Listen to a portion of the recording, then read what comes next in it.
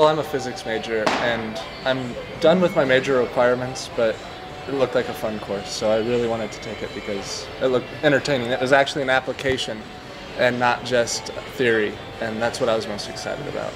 Had you ever thought about the physics of baseball before you took the course? Oh yeah, oh yeah. I uh, I'm a I'm a thinker. I like to think a lot. So um, I've definitely I've always thought about um, even because I'm a senior. My freshman year when I was taking mechanics and uh, 120 and things. I mean, either was it it was throwing a basketball or throwing a football, throwing a baseball.